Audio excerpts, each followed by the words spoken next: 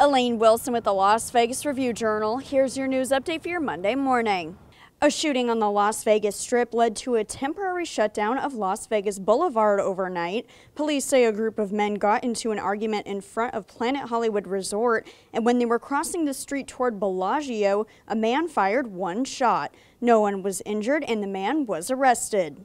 Las Vegas driving will look different in a few years' time. The Nevada Department of Transportation says it plans on creating carpool lanes along Interstate 15, and digital signage around the Spaghetti Bowl will be installed beginning in October. Eventually, the express lane along Interstate 15 will become a general travel lane, and a carpool lane will be added.